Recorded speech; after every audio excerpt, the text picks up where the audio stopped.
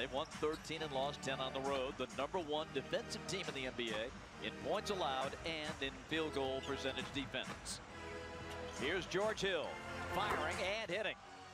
Much like he did against the Hawks in Salt Lake City,